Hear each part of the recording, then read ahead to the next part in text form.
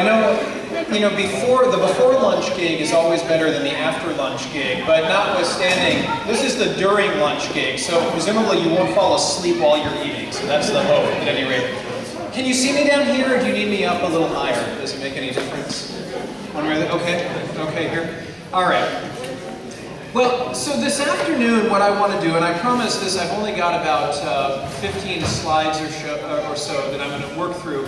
But what I want to do is to walk through a little bit about what it means to engage in Wesleyan spirituality for congregational life. Pick up what I talked about in the sermon this morning, but we're going to talk more specifically about John Wesley. And we're going to talk about uh, some ways of very practically uh, drilling into what it looks like in order to be uh, a faithful congregational witness moving towards holiness. And uh, I use the word vitality here. Some of you may know that's a buzzword in the United Methodist Church now of having vital congregations. Um, there you go, Tom. You like that one. The, uh, the vital congregations idea. And uh, it's not a Wesleyan word. Wesley never talked about there being vital congregations per se. And uh, a big part of that was simply that to be vital is too small of a goal for Wesley. Right? To be vital is just to be alive. Well, Wesley assumed you wanted to be alive. He wanted to push for more than that, right? He wanted to push for something beyond just being alive and healthy. And so, um, Wesley wanted to move people towards holiness. And you heard this in the sermon this morning, Hebrews chapter 12, verse 14. This is really a helpful verse to key off of in understanding pretty much everything that Wesley did. And that's, this is the whole verse, make every effort to live in peace with everyone and to be holy.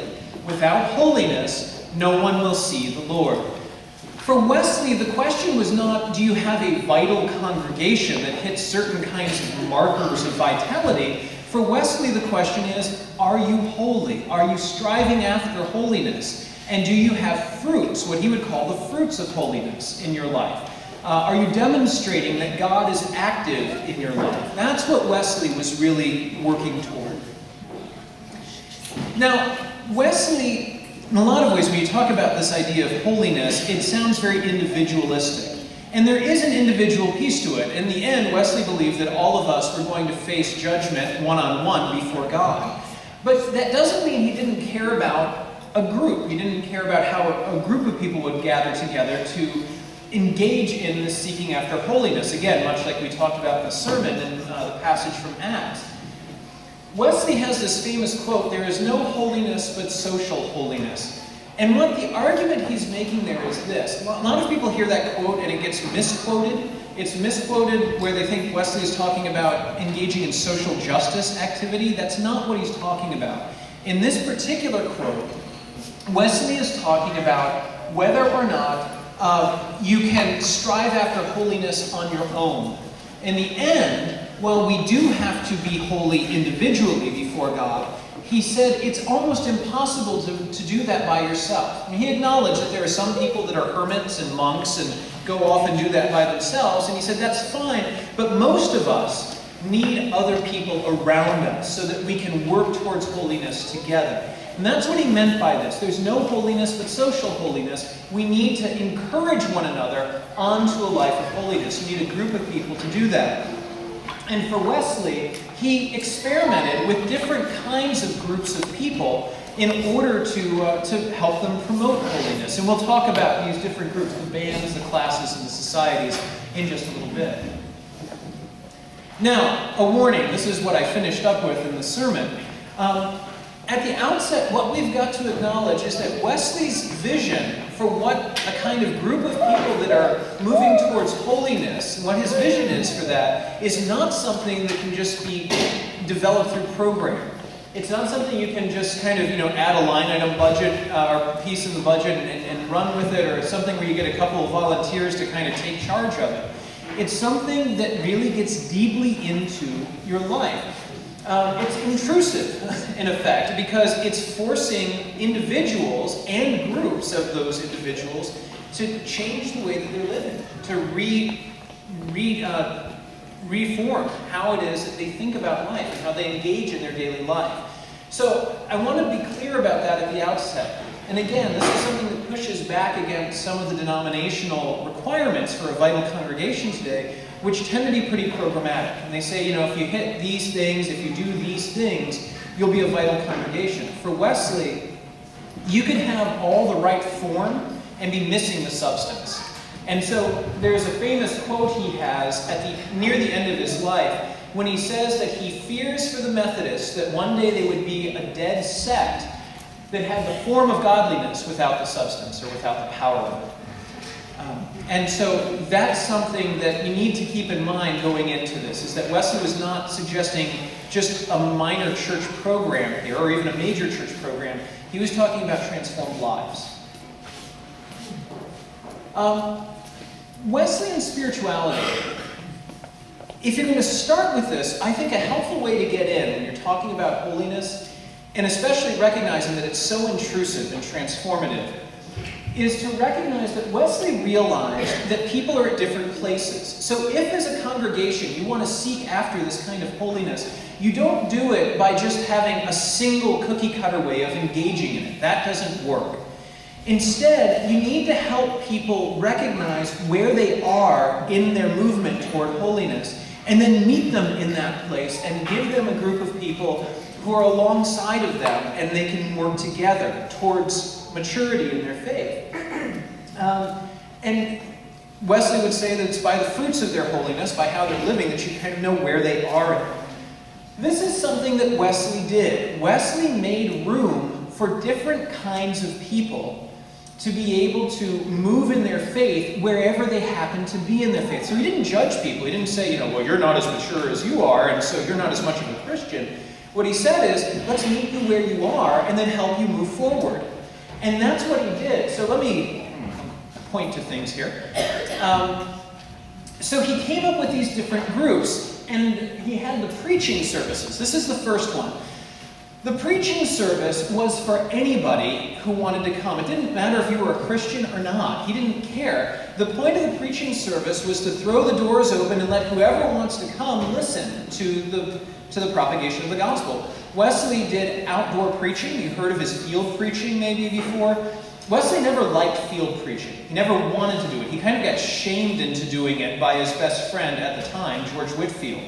And uh, so he went and he did it, and he found that it was profoundly effective because lots of people that would never darken the door of a church were willing to just stand out in the middle of a field and listen to a preacher, and they could be out on the, you know, be anonymous, just come in on the edges and sort of listen and then leave. And so Wesley had this. This was a group of sorts. It was a sort of unformed group. It didn't have a lot of cohesiveness, but it was an easy, low threshold way for those that just needed to hear the Christian message to begin with for those that heard the message of the gospel and they wanted to do something about it. Not that they had become Christians yet, but to put it in Wesley's terms, they wanted to flee from the wrath to come, meaning that they realized that their life wasn't quite the way it ought to be, and they wanted to do something to change it. He had what he called the classes.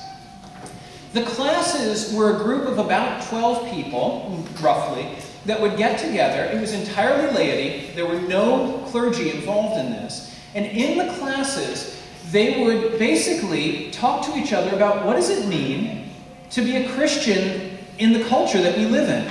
So if you had a group of people who were miners, coal miners that lived outside in Kingswood, just outside of Bristol, they'd get together and talk about what does it look like to be a Christian if we uh, live here, if we're miners outside of Bristol and we have this kind of terrible subsistence existence that we're living in. Uh, if they were the dock workers that are over in the wharfs off of uh, Bristol, that are dealing with the slave trade primarily. What is it that we're doing here? How do we be Christians? How can we be Christians in the midst of this? So these classes were very contextual, and they would meet people where they were. What's interesting about the classes is that they used, were made up partly of Christians. There, were, there was usually one leader who was a fairly committed Christian. There might be a few others, but then several other people who were just inquiring, who had been to the preaching service and wanted to check all of this out. And so they would come to the classes just to see what it's like to be a Christian and listen to the Christians talk to each other about what does it look like to try to be a Christian where we live. So you didn't have to be a Christian to come here. Again, pretty low threshold. But you had to be willing to say, I'm going to check it out. I'm going to see what it's like. Um, and in fact, there's a study that's been done, never was published, one of the best dissertations that's never been published, by the guy who heads the Upper Room, you know the little Upper Room devotional? Tom Albin, who's the dean of the Upper Room, uh, did a wonderful study where he showed the average person took 18 months from when they first came to a class to when they actually proclaimed that they were a Christian. They proclaimed faith in Christ. So 18 months of just checking it out before they actually made a decision to follow Christ. Now, for those who were Christians in the classes, there needed to be a way to help encourage them, uh, to encourage them specifically in their Christian faith. And so Wesley had the societies. The societies were made up of all the people who were committed Christians that were in the classes in a geographical area. And usually they were defined by a quarterly meeting, so quarterly conference, um, where people would get together and share what was called a love feast. It wasn't communion, but it was very communion-esque, right? They would get together. And usually this was, a, even though it was a larger group, it was a very, very uh, intimate group because these were the Christians that were all working together to help those who were finding their way. So it was kind of all the mentors getting together.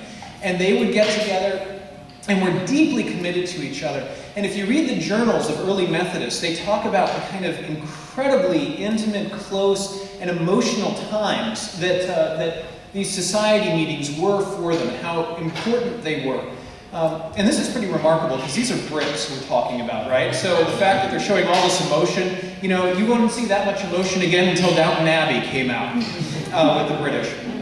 So that's what you've got with the societies. And they were so serious about guarding the kind of the uh, integrity of this, you had to get a ticket from Wesley himself to go to these. He actually would come in and he would in, in, uh, inquire after how you were living your, your life. And if you were showing sufficient fruits in, uh, in holiness, then you were given a ticket that were monogrammed with the JW, John Wesley's initials, and you could come to the society meeting. Finally, you have the bands.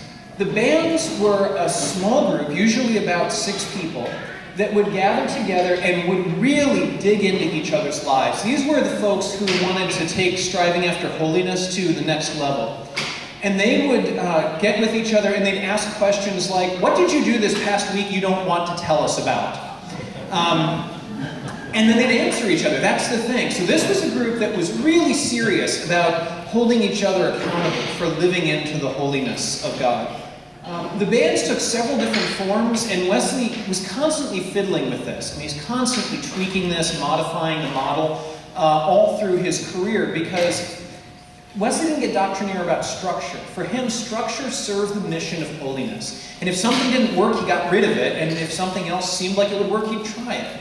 And so he was constantly tweaking this, but this is sort of the general structure of what he put into place. The key thing here is that if you want to be a vital congregation, if you want to use those terms, in the Wesleyan model, what you've got to do is make room for people at all these points. It's not often that we think in the church today about meeting people where they are spiritually. We'll meet people where they are in other ways, but we don't think about sort of where they are in relationship to holiness. And for Wesley, that was the chief indicator that he connected with and it was remarkably effective.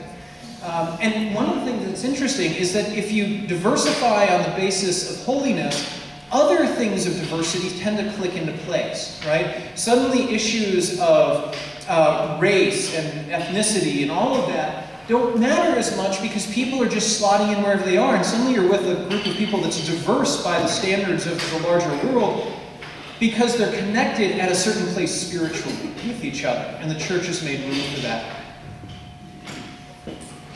Now, once within the appropriate group, it required a commitment, right? And we've talked about this. It requires a commitment, and chiefly here, to vulnerability, right? They had to be willing to share what's going on in their lives. And they had to be willing to let other people see both their successes and their failures. Two things we don't like talking about too much. You know, there's a tendency in the American mainline church to sort of gloss over the differences. As far as most of us are concerned, when we walk into the church, we're all basically middle class, we all basically live the same lives, and we all basically are alike. And this was a place where you could come in and say, you know what, I really nailed it this week. I did something really good here. And people could celebrate with you, and you weren't being prideful or, or inappropriate. But you could also walk in and say, you know what? I really blew it this week. And you weren't coming in to get judged, and you weren't going to feel terrible about yourself, but you were going to come in and have others share your burden with you and help you get back up and walk along to the next level. And so this vulnerability is really critical. And this isn't something you can engineer, right? You can't just say, you know, let's at the next uh, at the next uh, nominating committee meeting, you can't just say, you know, okay, who wants to volunteer to be on the committee of vulnerability for the church, you know, and and just have, you know, these are the folks that will all be vulnerable, and the rest of us will all be safe. They're doing it for us. It doesn't work that way. Everyone has to be able to do that, right? And so things like the tickets I already talked about, where you had to be vulnerable enough to tell Wesley, yeah, I've been living this way or I haven't. The home visits were similar. In the classes, this is the classes, remember, these aren't folks who are necessarily Christian, but they're searching after it. The class leaders, again, these are laity, right? These are lay members. The class leaders would go and visit people in their homes and sort of take stock of how was that life working for them, right? Were, were they showing some changes toward the Christian faith? You know, were they treating their children well? Were they treating their, their spouse well? Was the house maintained in an appropriate way? I mean, it sounds silly, but you know the quote, uh, cleanliness is next to godliness? John Wesley said that. That's actually originally a Wesley quote, and it was precisely because he didn't want Christians living in squalor. And if you had the choice, right, you use the money to clean up the house and make sure your kids and your wife are well maintained rather than going and spending it on booze and, and, and prostitutes. um, and so he was pushing people along this line. So you had to be vulnerable to the class leader coming and checking out. Is the house a little bit cleaner, right? Are there a few less whiskey bottles that are out front?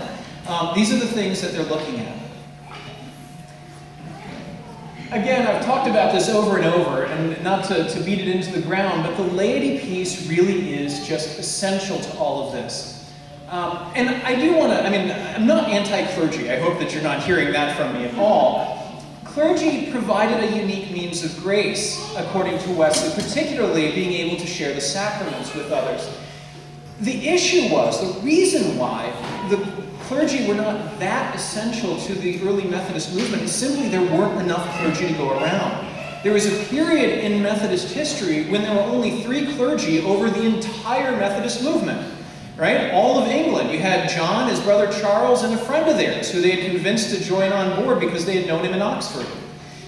So when you've got three clergy and you've got a burgeoning national uh, revival going on, the clergy can't run the whole thing. And so you need the laity to step in and to, to take care of each other, to do the spiritual care of each other, to visit with each other, to exhort each other, to worship, and to lead the worship services with each other. Primarily, the whole reason laity were allowed to preach originally in the Methodist movement, which, by the way, before it wasn't just that only clergy could do the sacraments, only clergy could preach, only the clergy could take a text and actually preach on it.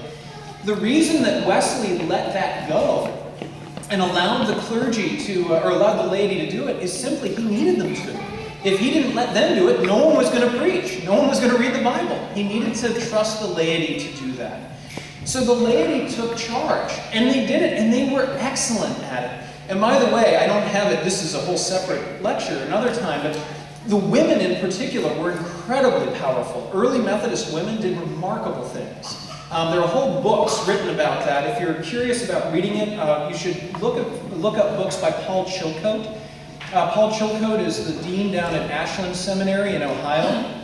And Paul has done some marvelous studies on specifically the role of women in the early Methodist revival and how they really took and ran with a lot of this stuff. So, what are the means of grace?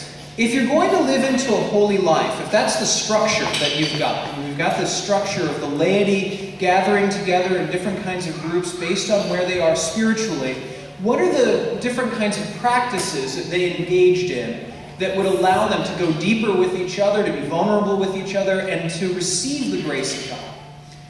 Wesley argued that there were what were called means of grace. And for Wesley, the means of grace were special kinds of God given gifts that allowed people to experience the presence of God more intimately in the here and now. That's what means of grace are. It's not that any one is more important than the other in Wesley's way of thinking of it, but it's that they're all necessary because God said, I will specifically meet you in a unique way through these activities. And so Wesley used to say, do all of these as often as you can because you need to. Because this is an, not just you need to, but because it's a gift. I mean, why wouldn't you want to keep meeting with God as often as you can and to have the grace of God rub off on you? Why not feel the assurance of God's forgiveness as often as you can and the power of God to move you on to holiness as often as you can? Why not do that? And so there's a list that uh, he included in one place, and there, there are other lists. I mean, there's no master list that he has of this. But one of the most common lists included reading and hearing Scripture. Notice he has reading and hearing. He, he suggests that there's an individual aspect where you're reading it on your own, but you're also hearing it, which means you're doing it together in a group because you have to hear someone else who's speaking it. Prayer and fasting. Wesley was a big, big proponent of fasting. Um, and it's something we don't talk about much. Although, ironically, and be good for Tom to hear this, when you take ordination vows, one of the things that you promise to do is to teach fasting to your congregation, both by prayer, or excuse me, by um, precept, by actually talking to people about it, and also by example. I know. so enjoy those cupcakes before you get ordained. Um, so that's something that you have that that Wesley saw as really critical is to bring fasting into it. And I don't know if that's something that uh, that Glenview's ever done. I will tell you that uh, when I was the pastor of just a little church, mean, much smaller than Glenview outside of Baltimore, one of the things that I did is that for Lent I introduced the idea of a Lenten fast. And Jesus says you don't let other people know that you're fasting. I figured it was okay inside the church if we did that. We just weren't proclaiming it outside. And so we came up with a little fasting group. And those who wanted to, there was no pressure. I'll tell you, the amazing thing about fasting, coming off of Wesley for just a second, fasting never happens apart from prayer. You never do it separately from prayer. It's all part of the same thing. And what fasting does is really help to focus your prayer. We had a youth group of one at the beginning of our time of prayer and fasting in the Lent, and we decided we would pray and fast specifically around the growth of, of our uh, youth group. We had a youth group of 30 by the end of that year. And it's, we, we had a, what would we have on us? Something like 80 people in the church. And we had a youth group of 30 by the end of the year. I'm convinced that we, we had suddenly had some incredible youth leaders who came to volunteer. We suddenly had uh, the one person that we had there start inviting other people to come, and they would stick and invite other people. It was amazing to watch the growth. There's something really powerful about attending to God through prayer and fasting. Worship attendance. Wesley saw that as critical. By the way, for Wesley, that was a multi thing because you had regular worship at the Anglican Church. Remember, Wesley is a priest of England. And he assumed you were going to the, to, uh, the Anglican Church on Sunday. And then, in addition, you would Holy Conference, where you get together your class or band or society or whatever it was that you were in as well. So this is there are multiple things that you're attending here to move into holiness. And then, of course, Holy Communion. Wesley saw the sacrament as critical. That's a major reason why you attended worship, was to receive Holy Communion. Not just these kinds of. If you just stop with that list, there can be a tendency to think that Wesley was mostly interested in us individually, sort of, and in the group in more terms of piety. Am I doing things that are pious? Am I showing a kind of pious life? And praying and fasting and, and taking communion and the like. But Wesley realized that a holy life required much more than that. And so he developed basically a set of ethics by which people could figure out how to engage the culture around them. So that it's not just what I'm doing in my own personal life and in my life with my small group, but what am I doing and how I relate to everyone around me as well when I get out to the workplace, when I get out to wherever it is that I'm in my daily commerce? And you've probably heard of them. They're Wesley's three simple rules, sometimes they're called the general rules. And they simply read this do no harm, do all the good you can, and attend upon the ordinances of God. Right? So the ethics were these if you're a Methodist, whenever you do something, ask the question Am I going to hurt myself or hurt anyone else by doing it? And if I will, then don't. I shouldn't do it. That, that's off, off limits for me. Likewise, do all the good you can. If an opportunity arises to do good, take it. It doesn't matter if it's in your comfort zone. It doesn't matter if it's something that you're fam that familiar with. If there's the opportunity to do good, even if it's socially awkward to do it, do it. These were the ethics of relating to the world. And then what we just talked about, the different practices, the means of grace were the ordinances of God. He said, attend on those because you need to. If you don't do that, you won't be spending the intimate time with God that you need to fill you up with the power necessary to keep refraining from harm and doing good. So all of it's a reinforcing ethic. This is what I do internally and with my small group in my congregation to prepare myself, and here's how I go out and live with the larger world around me. I think it's interesting that towards the end of his life, Wesley took these ideas and he modified them a little bit specifically to deal with the issue of wealth. Because the Methodists were becoming wealthier by this point. Um, Wesley had taken, and there have actually been arguments, which may be a little overdone, but they're instructive. Wesley had largely reached out to the working poor. And by the time that his life was coming to an end, the working poor were becoming the middle class in England during the Industrial Revolution. Now, I don't think Wesley gets the full credit for this, but he did help because he helped that group stop using their money for bad stuff and start using it for good stuff, like educating their kids and you know taking care of their where they lived and that sort of thing. So the Methodists were becoming wealthier. And Wesley began to realize, I need to help them make sense of what to do with money because they never really knew what to do with it before. And now that they've got more of it, how are they going to deal with it? So Wesley, Wesley uh, took his three simple rules and he established sort of three simple rules of dealing with wealth. First, he said, make all you can in a way that does not harm yourself or others. Right? So, for example, Wesley was not a big fan of people who owned liquor shops. Um, now, Wesley wasn't a teetotaler, but he argued if you're going to make your money off of the misery of others, you're hurting them and you're hurting yourself in the process. So that's not within bounds for Methodism. So you can make all you want. We, no problem with people making lots of money, but make it in a way that doesn't hurt others. This still drives our General Board of Pension today in the United Methodist Church. They have a social screening that they do so that what they invest in is something that doesn't hurt anyone in the process of it. So, for example, and this is a while back, but when apartheid was still an issue in South Africa, the United Methodist Church was one of the first to divest from South African assets because that would be making money by hurting people if we kept our money there. To save all you can. Save it by refraining to buy stuff you don't need. One of the things that irritated Wesley deeply was the need for middle class folks to buy what he called luxury goods. Basically, that's anything you don't need to have. Right? Anything you don't need is something is just frivolous, and so don't buy it. Save that money instead by not buying stuff you don't need. This flies in the face of the entire logic of what we're about to experience as all of the Black Friday uh, uh, start jumping on TV for us. You're watching this on only a 60-inch, you know, plasma TV, but you need, you know, a 62-inch plasma TV now. Um, that's exactly the kind of thing Wesley was saying Methodists don't do. And then finally, he said, All right, so you've made all this money, and now you've saved a whole bundle because you're not going out and buying all this stuff. Well, what do you do with it? He says, Here's the danger it's going to burn a hole through your pocket. That's the way he put it. And it, that hole is going to lead you straight to hell.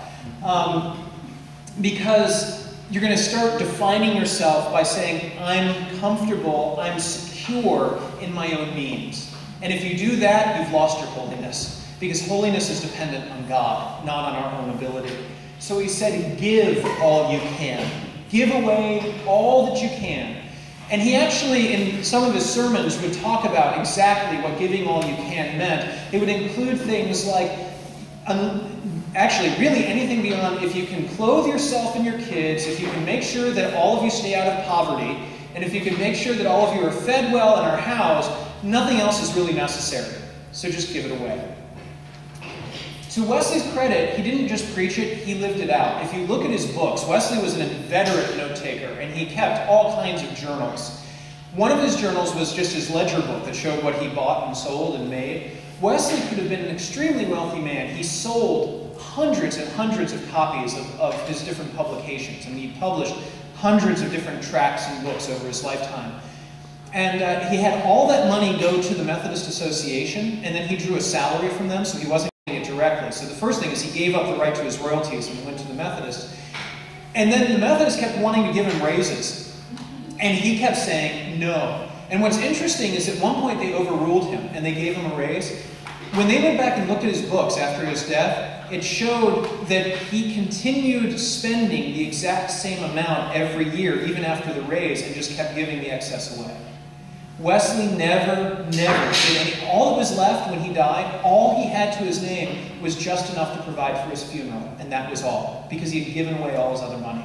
He had no kids either, so he didn't have to provide for them. So it was all given away. So Wesley lived and practiced what he preached here. But this was, I think, a fascinating piece that Wesley understood that wealth can be a particularly tricky thing in, a, having, in a, having us avoid or turn away from the call to holiness.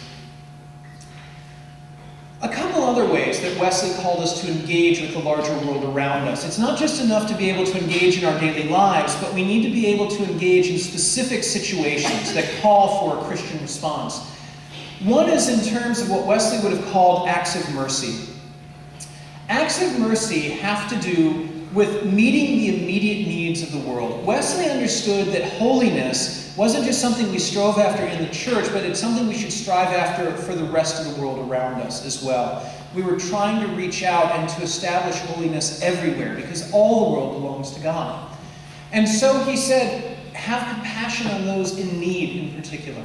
And those acts of mercy were taking care of people. Wesley was a huge believer in almsgiving. Uh, every so often, at one time, it was kind of interesting. In, in his journal, he gets into a sort of uh, uh, almsgiving match with another guy he doesn't really like. Uh, and so they're seeing who can outgive the other one.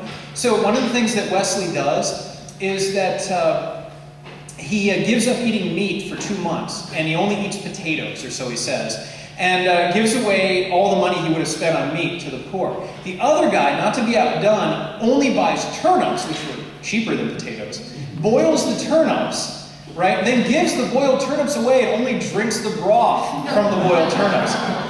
I don't know how much of that is true, but Wesley, for once, gets outdone by someone else. Notwithstanding, that may be a little extreme, the point is that it was about meeting the needs of those around them. And again, this is early industrial era uh, Britain that they're living in. So there are a lot of the poor that are moving into the major cities, Bristol and London and the like, and they're desperate. They've got no money. The feudal system is broken down, so you don't have lords that are caring for the needy that are within their, their, their domains. And so the Methodists really pick up along the way and try to care for these people that are in desperate need. If you've ever read any of Dickens' novels, you know, like Oliver Twist and like you get a sense of what that was like, but this is about 100 years earlier, this sort of desperate uh, life of the, of the street urchins and the, and the girls that are left on the street and that kind of thing. And, and Wesley and his folks really made a point of reaching out to them.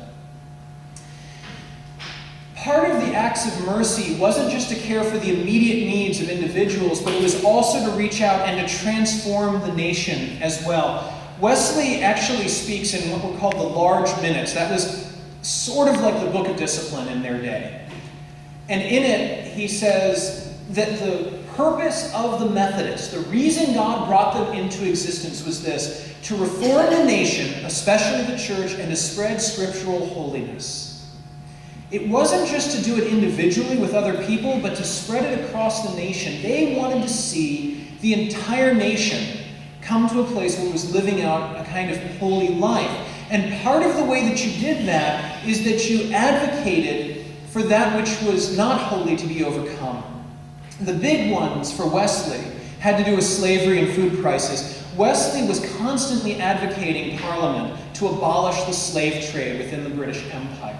And in fact, his very last letter that he writes just a, a few days before his death is to William Wilberforce. And if you know uh, the British history, you know that Wilberforce was one of the small group of MPs in the British Parliament that put forward and, and championed the bill that ultimately ended and abolished slave trade in the British Empire. And Wesley was a force behind Wilberforce to make that happen. Food prices were another thing. He looked at all the desperately hungry people and he'd help them individually with alms, but then he also went on to write treatises, treatises to the wealthy, saying, Here are ways that by your buying uh, certain luxury items, that you've driven up prices for everybody. You've caused inflation so that food prices have gone up as well, and the poor can no longer afford their own food because of that. So he was looking at making systemic changes to bring holiness to the nation, not just at working with individuals. Here's the thing. Today we tend to break all this stuff out. We have, you know, there are some churches that are interested in what we call social justice and these systemic changes, some that want to save souls and to deal with individuals. Wesley just did it all together because it was all part of living a holy life. He said, which part does God not do, right? Does God not care about the hungry, or does God not care about you know, people going to heaven? Which one is God not concerned about? For Wesley, it was all part of the holy life. All of it needed to be done. And he expected the Methodists to engage in all of it as well. And what was the outcome? The outcome for him was a congregation, if you can call it that, groups of Methodists, classes, societies of Methodists, that promoted holiness in this kind of holistic way, so that it promoted the well being of all those who are around it physically, as well as drawing them into glory ultimately. And it's not a program, right? It's not a program, it's not something you can legislate. It's a way of life, and it's something that had to be owned by the laity. Wesley was the one who sort of launched the whole thing, but it had to be owned by the common people of Britain. And that's the only way that it was able to do what it was able to. And that's the same challenge that's set before us today as Methodists. That's our inheritance, is whether we're willing to step in and to grab a hold of that way of being that really launches us out to change the world, to spread scriptural holiness across the land. That's what we're called to do. But it starts in the sort of everyday commitments to piety, to mercy, to justice, to receiving the means of grace, and to holding each other accountable and being vulnerable to each other in the process. Wesley believed it was possible. I mean, that's the thing. Wesley was an optimist at the end of the day. You might think he was kind of a dour guy when you read him because he was so strict and so absolute about so many things, but Wesley was an inveterate optimist. And uh, one of my favorite lines, this is from O 4,000 Tongues to Sing, you know the hymn, O 4,000 Tongues to Sing, right? The very last line was written by Charles Wesley, the same fellow as John Wesley's brother, younger brother. I inflicted three of his hymns on you this morning up the, uh, at the, the, service. Yeah! and uh, Charles wrote O 4,000 Tongues. And this captures Wesley's optimism, both John and Charles Wesley's optimism. Anticipate your heaven below and own that love is heaven. Right? If we live a life of holiness, we live a life of love of God and love of neighbor. And if we own that love, to live out of love of God and love of neighbor, is heaven, it's where we meet God, it's where the beauty and the glory of God is, then we can live into heaven now. That's what Wesley believed we could do. I And there's nothing less than that kind of power, that kind of glory at stake in all of this for Wesley. It's not just about doing good, and it's not just about humanitarianism, it's about living into the glory of God now. And he genuinely believed it was possible. And Charles really captures that well in this last line. And so that's where I would bring it into it, then open this up for any questions you may have. But that's what we have at stake as well if we're following in Wesley's footsteps to seek after this kind of holiness isn't just about are we doing what Wesley did? Are we being good Methodists? It's about are we living into the glory of God now in the anticipation of seeing it face to face one day? And with that, any questions or comments from anyone?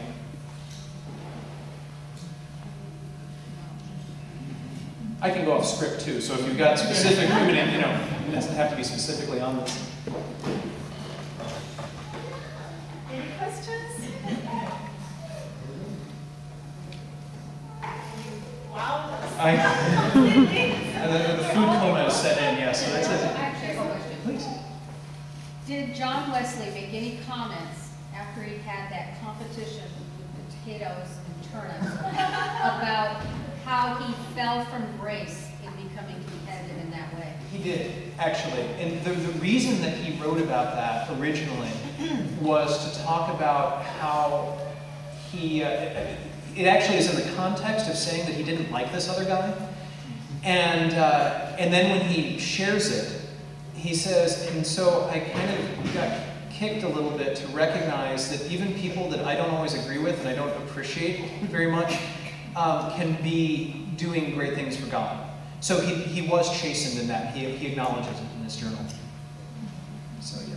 Wesley was intensely self-aware. I mean, almost to a fault, he was introspective. So it's very rare that he, he, those sorts of things escape him. I have one other question.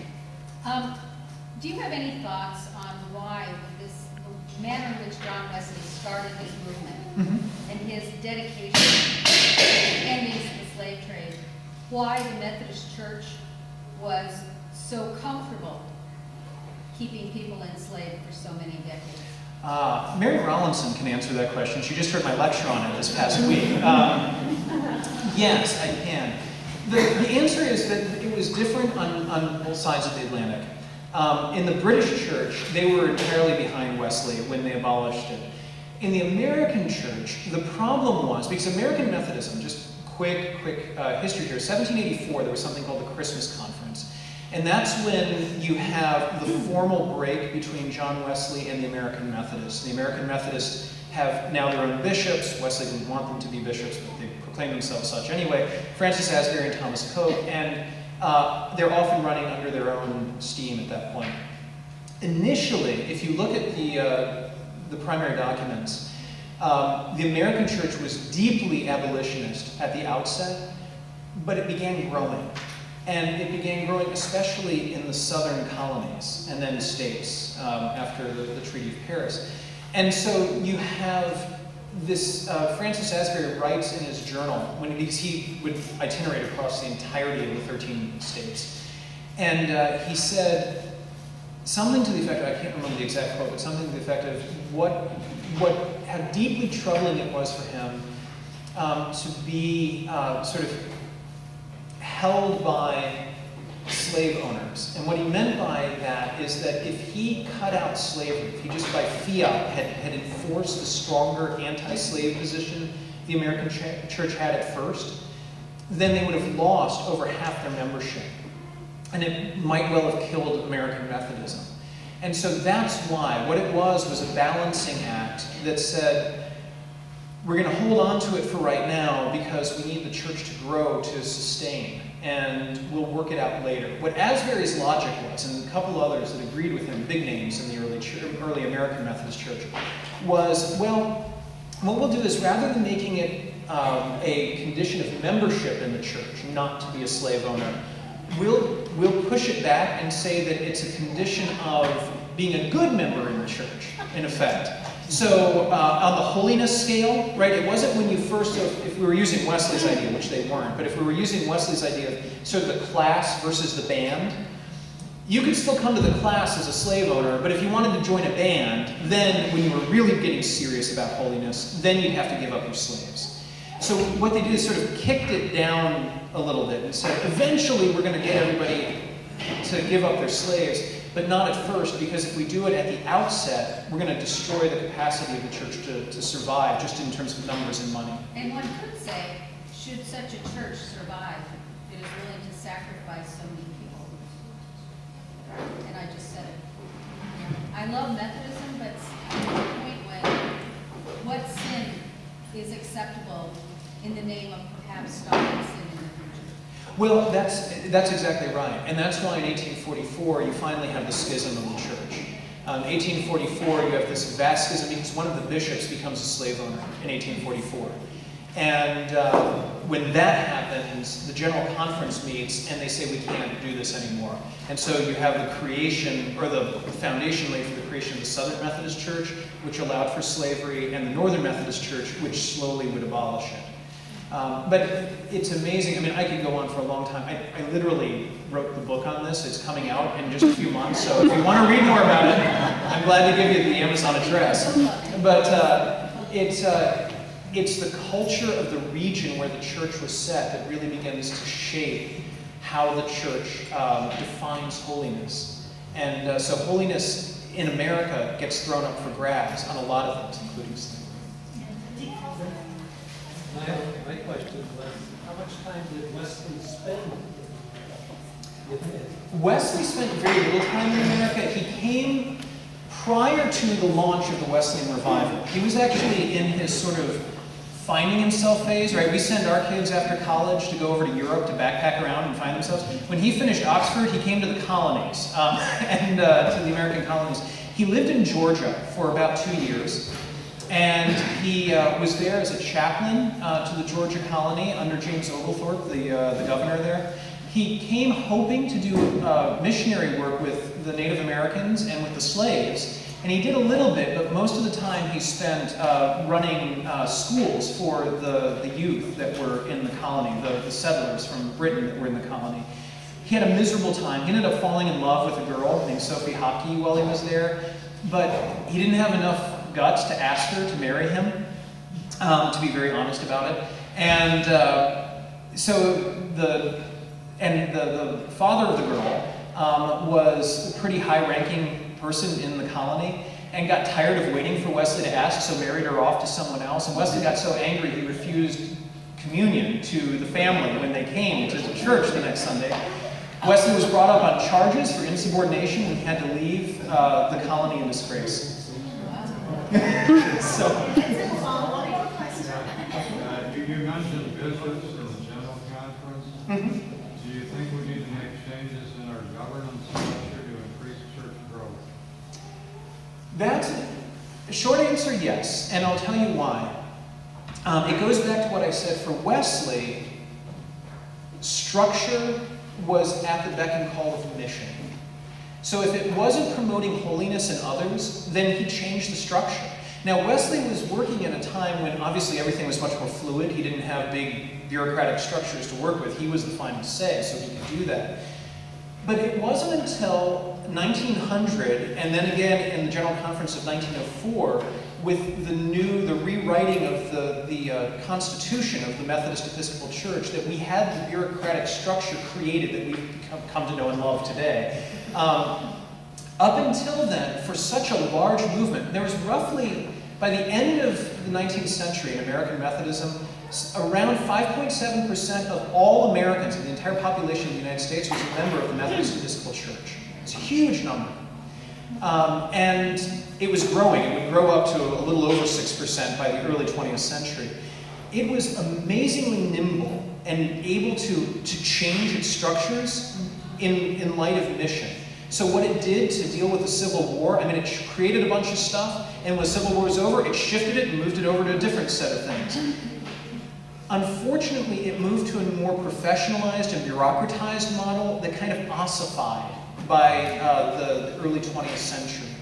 And I think that we've, um, and that's where this change began to take from helping laity to be more actuated and empowered to engage in mission to being primarily just donors. And again, I mean, to speak to Tom's point, I'm not against donating, right? I mean, that's a good thing. But it used to be much more than that. And, uh, and because we ossified and professionalized and bureaucratized the structures in the early 20th century, we have hamstrung ourselves from being able to focus better on mission. Um, and the 19th century Methodist shows us it's not impossible to be a big movement and still have a fairly readily shifting um, structural system that's accountable to mission, rather than mission that has to be defined by what's already in place to do it. Great, yeah, thank you so much. Do I um, one last question? Okay, Yes. Last, last person. Okay.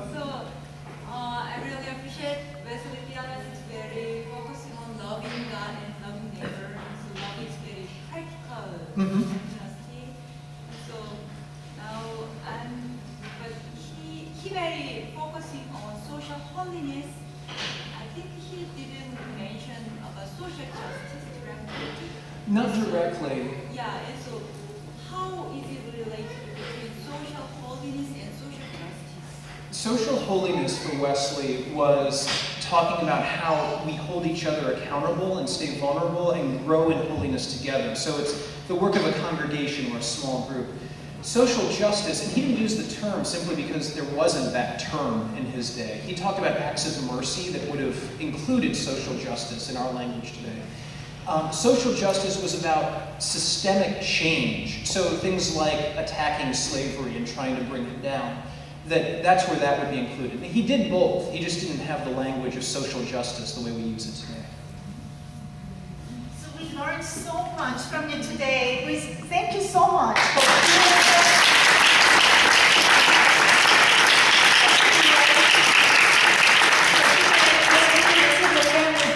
Um, and your children are in the back. Well, yeah, that's great. so it's nice to have you. So shall we uh, pray together as we forth from this place? Gracious and loving God, we thank you so much for the inspiration and passion that we have experienced through Dr. Teasdale today. And as we go forth from this place, may we embody truly the holiness in our lives and live it out and, and share our love with everyone that we encounter. And we uh, thank you for the wisdom um, and the teaching of Dr. Teasdale, and we pray that you will continue to be with him, inspire him, um, so that in his uh, teaching and preaching and pastoring, that your glory might be revealed. And be with each one of us and help us to share the wisdom that we have learned today with others and help us to practice them in our daily life as well. We pray this in Jesus' name. Amen.